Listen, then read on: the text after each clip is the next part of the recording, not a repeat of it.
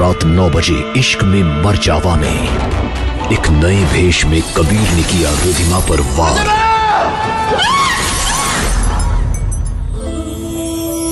मुझे ऐसा क्यों लग रहा है? मुझे तुमसे प्यार हो रहा है।